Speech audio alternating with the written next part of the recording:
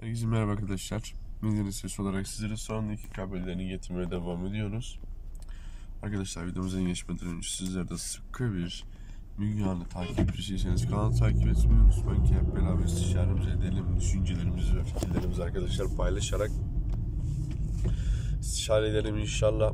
Biliyorsunuz ki Müge Anlı da zaten an itibariyle herkesin de başına geldiği gibi birçok kişi tarafından de iddialar ortaya atıldı. Tabii ki bu iddialar kim hakkında onu da söyleyeceğim. Deryan arkadaşlar yaptığı gerçekten affedilebilir bir şey değil zaten. Hani e, eğer ki kocasını o öldürmemişse bile yaptıkları bence hiç affedilebilir bir şey değil ve annesinin babasının da bunu savunması gerçekten benim içimi bulandırıyor arkadaşlar. Çünkü birisi yüzünden arkadaşlar iki kişi toprağa girdi. Bir kişi de arkadaşlar hapishaneye cezaevine girdi. Üç kişinin hayatını mahvetti. İşte düşünebiliyor musunuz? Bu kadar eee, önemli bir, bir mevzu.